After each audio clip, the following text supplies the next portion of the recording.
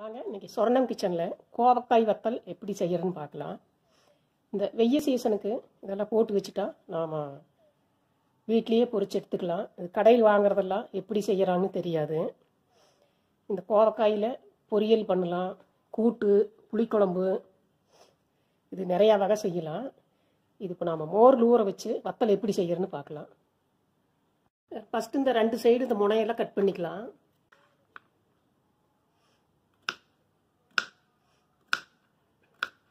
இந்த அளவுக்கு பெருசாக போட்டுக்கலாம். ரொம்ப சிறுசாக போட்டால் நம்ம எண்ணெயில் பொரிக்கும் போது கருகிரும்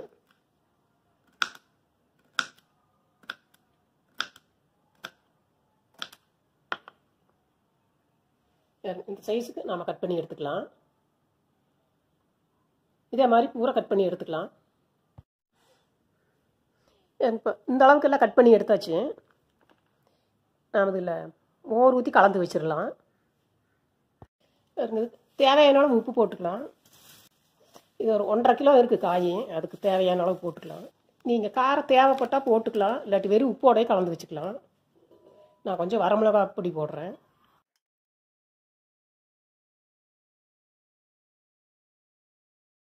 மோர் ஊற்றிடலாம்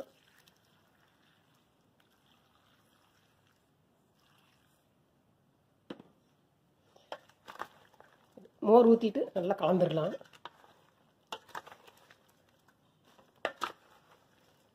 நல்லா கலந்தாச்சு. ஒரு நல்லா தட்டம் வச்சு மூடிடலாம். இப்போ நாளை காலையில் தான் எடுக்கணும். நீங்கள் அது வரைக்கும் அப்பப்போ இதுக்கு நல்லா கலந்து விட்டுட்ருக்கலாம் நல்லா அப்பப்போ நல்லா கலந்து விட்டுருங்க.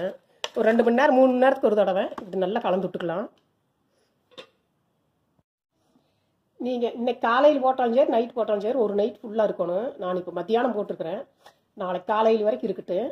இடையில இடையில இடையில் அப்பப்போ கொஞ்சம் கலந்து விட்டுக்கலாம். அப்பப்போ கலந்து விட்டுக்கலாம். நல்ல கேப் இல்லாமல் டைட்டாக மூடி வச்சிடலாம். இல்லை நீங்கள் ஒரு இலை துணி ஒரு காட்டன் துணி இருந்தாலும் கூட போட்டு மூடி வச்சுக்கலாம். இது நாளைக்கு காலையில் பார்க்கலாம். இப்போ நேற்று மத்தியானத்துலேருந்து இப்போ காலையில் வரைக்கும் ஊறிடுது. ஒரு நாலு நாலஞ்சு டைம் குளிக்க குளிக்க விட்டேன். இப்போ நாம் வடித்து வச்சுட்டு வெயிலில் காய வச்சிடலாம். நல்லா வடிகட்டியாச்சு. இப்படியே இந்த இந்த மாதிரி ஒரு தட் கூடையில் போட்டு வச்சுட்டு வடியுது.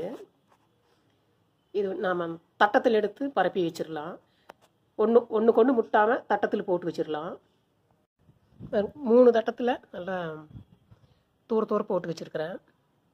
இது இப்படியே இன்றைக்கி சாயந்தரம் வரைக்கும் காயிட்டு இன்னொரு மணி ஒரு ரெண்டு மணி நேரம் கழித்து திருப்பி போட்டுவிடலாம்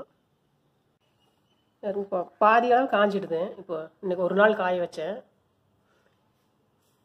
திருப்பி நாளைக்கு காலையில் எடுத்து வைக்கணும்.